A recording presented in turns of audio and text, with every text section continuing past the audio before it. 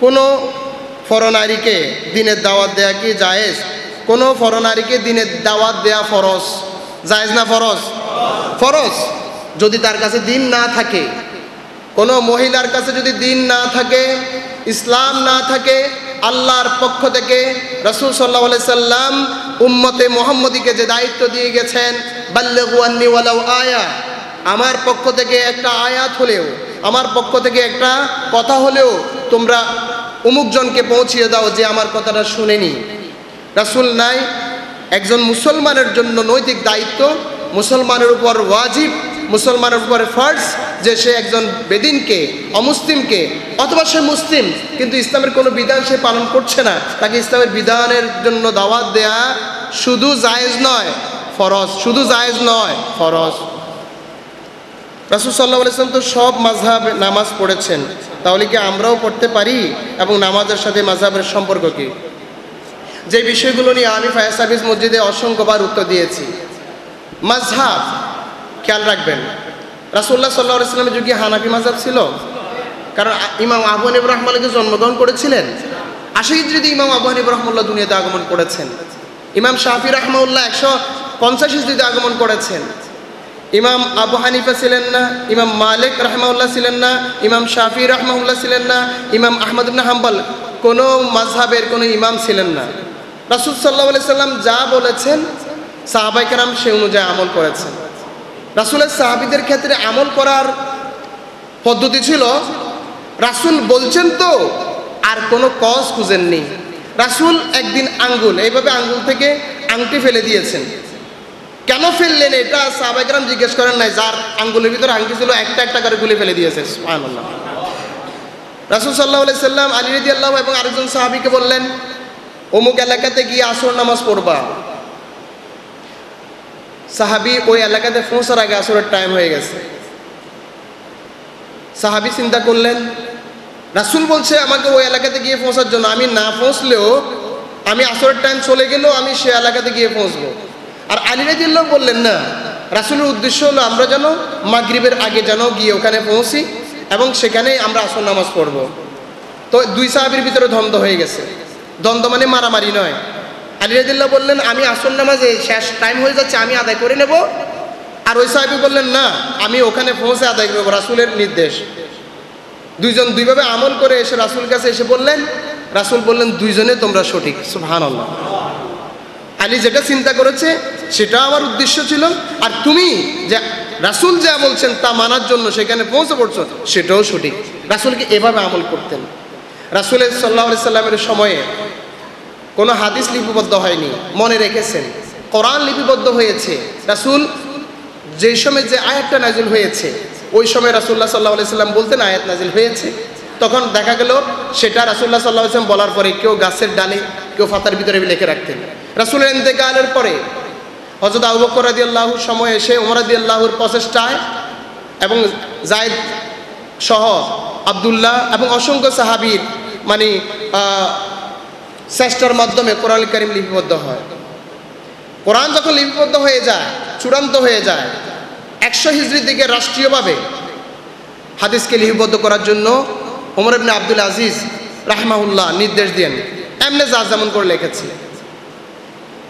রাসুল সাল্লাহ আলাই সাল্লামের ওফাতের পরে এবং পরবর্তীতে ইমাম ইমাম বোখারি, ইমাম মুসলিম ওনারা একদল গবেষক বের হয়ে গেছেন যারা রাসুলের হাদিস কোথায় কোথায় আছে, কোন সাহাবির কাছে আছে, কোন তাহাবির কাছে আছে, লিপিবদ্ধ করা শুরু করলেন। লিপিবদ্ধ করতে গিয়ে দেখা গেল যে একই আমলের উপরে দুই, তিনটা হাদিস চলে আসছে। ইমাম আবু হানিফা রহমাল্লার সময় বোখারি, ইমাম বোখারির জন্ম হয়নি। ইমাম আবু হানিফা রহমুল্লার বয়সের সময় ইমাম বোখারির জন্ম হয়নি।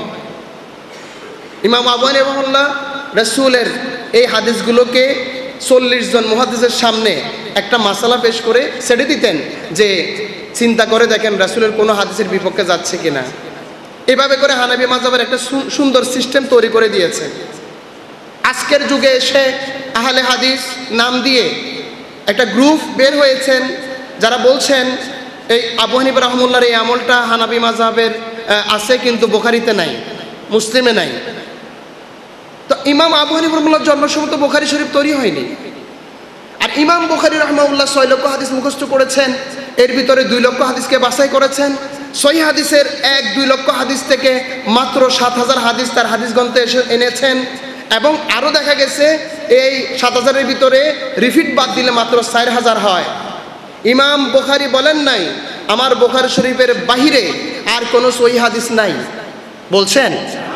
তো তাহলে আমি আহলে হাদিস অথবা বুখারি শরীফকে দলিল পেশ করে যদি বলি, বুখারি শরীফে তো নাই, তাহলে আমরা সেটা গ্রহণ করব না। তার মানে কি, বুখারি শরীফের বাইরে কি কোনো সহি হাদিস নাই? নাই? ইমাম বুখারি, ইমাম মুসলিমের বাহিরে সহি হাদিস, প্রায় আট হাজার সহি হাদিসকে একত্রিত করে আল মুস্তাদরাক আলা সহিহাইন, আল্লামা নিসাফরি আল মুস্তাদরাক আলা সহিহাইন মানে বোখারি এবং মুসলিমের যে মানের হাদিস, সেরকম আট হাজার হাদিসকে একত্রিত করে একটা হাদিস গ্রন্থ রচনা করেছেন। সোহেবনে হিব্বান সোহেবনে খুজাইমা আল মুস্তাদরাক আলা সহিহাইন, এ সমস্ত হাদিস গ্রন্থগুলোতে অসংখ্য হাদিস আছে যেগুলো ইমাম বোখারি আনেন নাই। তাহলে আমি যদি বলি, বোখারি শরীফ ছাড়া আর কোনো হাদিস গ্রহণযোগ্য না, অথবা কোনো ইমামের আমল বোখারি শরীফে পাওয়া না গেলে সেটা গ্রহণযোগ্য না, তাহলে সেটা আমার জ্ঞানের অসারতা বা অজ্ঞতাই পরিচয় বহন করবে, ঠিক কিনা বলেন? আর আপনাকে, যারা ইমাম বোখারি, ইমাম মুসলিম অথবা সহি মুসলিম, সহি বোখারিকে ধারণ করে, অন্যগুলোকে বলছেন ঠিক নয়, তাদের কাছে আমার দুইটা কোয়েশ্চেন এক নম্বর কোয়েশ্চেন হলো উজুর ফরজ কয়টা? উজুবঙ্গের কারণ কয়টা? আহলে হাদিস ওই ভাই যিনি বোখারিয়ান মুসলিমের ধরে রাখছেন, তার কাছে কয়টা? ষাটটা নামাজের ফরজ কয়টা? ভিতরে, বাহিরে? তেরোটা। আমি এখন এই মুহূর্তে বলে গেলাম, নেটে যাচ্ছে সারা পৃথিবীতে। সবাইকে বলে দিলাম, আহলে হাদিস ভাই, যারা মনে করেন বোখারি আর মুসলিম ছাড়া অন্য সব হাদিস গ্রন্থের ভিতরে ভুল আছে, সেগুলো গ্রহণযোগ্য না, তাহলে বলে দিলাম, নামাজের তেরা ফরজ সহি বোখারি, সহি মুসলিমের কোন হাদিসের ভিতরে একসাথে আছে? বের করে নিতেন উজুবঙ্গের কারণ ষাটটা কোন হাদিসের কোন জায়গাতে একসাথে আছে এনে দেখাই দেন। নামাজের ওয়াজিদ চোদ্দটা। কোন হাদিসের কোন জায়গাতে একসাথে আছে এনে দেখাই দেন। অজ্ঞতার দিকে যাবেন না। ইমাম আবু হানিফা রহমুল্লাহ ইমাম শাহি রহমুল্লাহ মালিক হাম্বালি রহমউল্লাহ উনারা দুনিয়ার কোনো স্বার্থের কারণে মাঝহাব তৈরি করেননি। আর এই মাঝহাব স্বতন্ত্র কোনো ধর্ম নয়। এই মাঝহাব হচ্ছে ইসলাম ধর্মকে পালন করার জন্য, আম জনতার জন্য সঠিক করে, সহি করে, সহজ ভাষায় একটা পদ্ধতি বাতিয়ে দেয়া। মাঝহাব কোনো অন্য কোনো ধর্ম নয়। মাঝহাব অন্য কোনো ধর্ম নয়। কেন মাঝহাবকে অন্য কোনো ধর্ম মনে করছেন? আপনার জন্য উন্মুক্ত। ইমাম আবু হানিফ রহমুল্লার কোনো একটা পদ্ধতিকে আপনার ভালো না লাগলে, ইমাম শাফির কোনো একটা পদ্ধতি ভালো না লাগলে, আপনি হাদিসের যে কোনো একটা হাদিসের উপর আমল করলেই সাইরে মাহজাহাবের কোনো একটা মাঝহাবে পড়বে কোনো সন্দেহ নাই। এজন্য ইমাম আবু হানিফের গালি দেওয়ার মতো এত বড় স্পর্ধা আপনি দেখাবেন না। ইমাম শাফির মতো, ইমাম মালিক হাম্বলির মতো এত বড় আলেম বর্তমান পৃথিবীতে আরেকবার আসে কিনা, আল্লাহ ছাড়া আর কেউ জানে না। দুনিয়ার কোনো স্বার্থে তারা নিজের মতো করে একটা মাসালা দিয়েছেন, এমন কোনো প্রমাণ দেখাতে পারবেন না। ইমাম আবু হানিফা রহমুল্লাহ তৎকালীন সরকারের আমলে নির্যাতনের শিকার হয়েছেন। ইমাম শাহি তার সরকারের আমলে নির্যাতনের শিকার হয়েছেন। ইমাম ইমাম আহমদ ইবনে হাম্বাল তৎকালীন সরকারের আমলে তিনি নির্যাতনের শিকার হয়েছেন। ইমাম মালিক রাহমাহুল্লাহ তৎকালীন সরকারের আমলে নির্যাতনের শিকার হয়েছেন। দুনিয়ার কোনো লোভ আর সত্যের কারণে নয়, ইসলামের মূল কথাগুলো, মূল স্পিডগুলো জাতির কাছে উপস্থাপন করার কারণেই, ঠিক কিনা বলেন? যদিও তার সরকার ছিল মুসলিম সরকার হারুন রশিদ, মামুন, এ দুই আমল, এ দুই আমলে সার ইমাম নির্যাতনের শিকার হয়েছেন। তাহলে আপনি কীভাবে বলবেন, তারা তো কোনো সরকারের কি পৃষ্ঠপোষকতায় শরীয়তের কোনো মশলা চেঞ্জ করে দেননি? অনেক বড় করে কথাটা বললাম, আলে হাদিস যারা ভাই আছেন, তাদেরকে আমরা কোডিয়ালি কি আন্তরিক এবং মোবারকবাদ জানাচ্ছি, পড়াশোনা করেন। এই এখানেই ঈদগার এক মুসল্লি আমার ফায়ার সার্ভিসে যেতেন। তো আরেকজন মুসল্লি বললেন যে, ওকে কখনোই বসিয়ে প্রস্রাব করানো যায় না। সে বলো দাঁড়িয়ে প্রস্রাব করা শুননা কেন? রাসুল সাল্লাহ সাল্লাম দাঁড়িয়ে প্রস্তাব করেছেন। তো রাসুল্লাহ আসলাম দাঁড়িয়ে প্রস্তাব করেছেন, যে হাদিসে পড়েছেন, উনি দেড়শো হাদিস পরে আর একটা হাদিস আছে, রাসুল সাল্লাহ ইসলাম যেদিন দাঁড়িয়ে প্রস্তাব করেছেন, সেটার দুইটা কজ বর্ণিত আছে হাদিসে। একটা হলো রাসুলের কোমরে প্রচণ্ড ব্যথা ছিল, তিনি বসতে পারেননি, দাঁড়িয়ে প্রস্তাব করেছেন।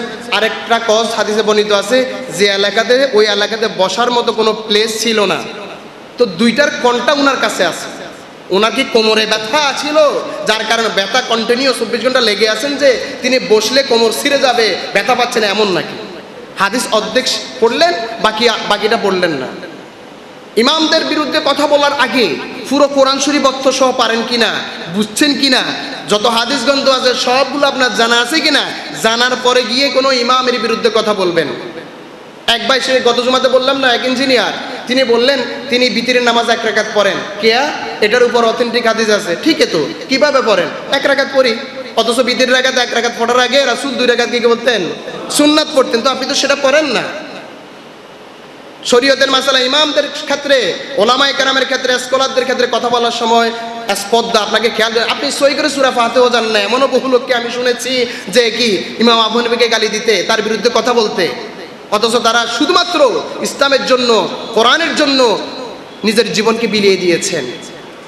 নিজের অবস্থা দেখবেন, তারপরে ইমামদের মতো কথা বলবেন। মাঝহাব, আপনি যেই মাঝহাবের উপর আমল করেন না কেন, আমার মতে ছোট্ট গোলাম, আল্লাহর গোলাম, আমি কখনো আপনার বিরুদ্ধে কথা বলব না। কারণ আপনি কোনো একটা হাদিসের উপর আমল করছেন। আমি যদি আপনার বিরুদ্ধে যাই, রাসুলের হাদিসের বিরুদ্ধে যাব। আপনি যদি রাফে ইয়াদান করেন, আমি রাফে ইয়াদান করি না। আমি আবু হানিফা রহমুল্লাহর মাঝহাবটা ফলো করছি, সেটার পক্ষেও হাদিস আছে। আপনি রফিয়াদান করছেন, আপনার পক্ষেও হাদিস আছে। আমি রফিয়াদান করি না বিদায়, আপনাকে রফিয়াদান করেন বিদায়, মসজিদ থেকে বের করে দিব। এত বড় বেয়াদবি আমি করতে পারব না। কারণ এর পক্ষে যে হাদিস আছে, আপনাকে বের করে দেয়া মানে রাসুলের হাদিসকে বের করে দেয়া। এটা আমি করতে পারব না। আমি হয়তো একটা হাদিসের উপর আমল করি। আপনি আর একটা হাদিসের উপর আমল করেন।